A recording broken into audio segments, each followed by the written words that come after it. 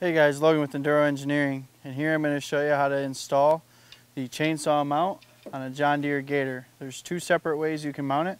First I'm going to show you how to mount it to the roll cage. Okay, to mount it to the roll cage, you're going to want to take the two composite blocks.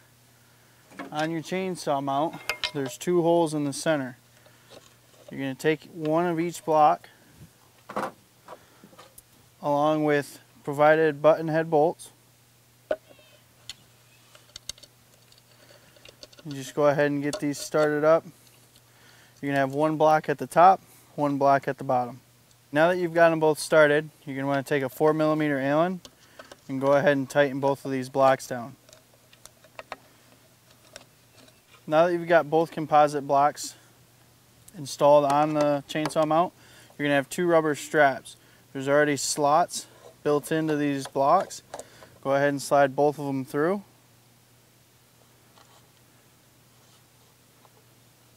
Then you can take the chainsaw mount. This is where it's up to you. You can have it up higher, down lower. I like to have it down lower, that way it can kind of rest on the bed as well to help support it. And then you can just wrap the rubber strap around. You can pull it tight. These straps are really durable. You can pull it nice and tight and then just cinch it down.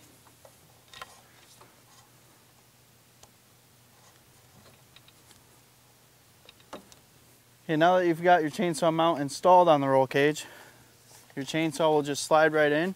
You have this strap here. You can just make sure that this is, is loose, wrapped down at the bottom.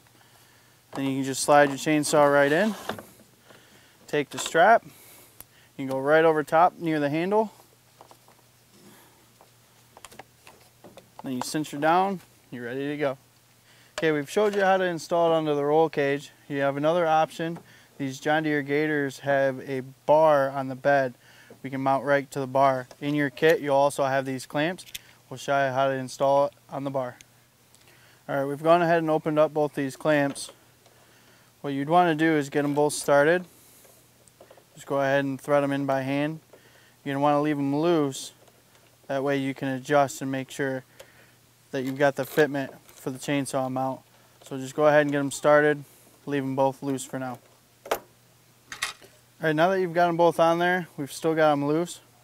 You've got different mounting, slotted mounting holes that you can use. You've got three on each side to vary the height and get it how you want it. For this purpose, I'm going to use this second height. I'm just going to line it up and make sure that I'm going to be able to get both bolts in there. Kind of line up the, the mounts. Now that those are good, you can go ahead and take a 5 millimeter Allen go ahead and tighten both these clamps down.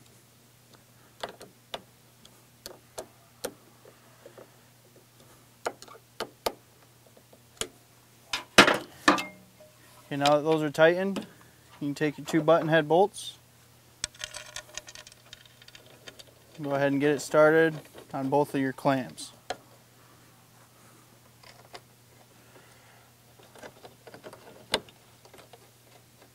Then go ahead and take a 4 millimeter Allen, tighten both these bolts down.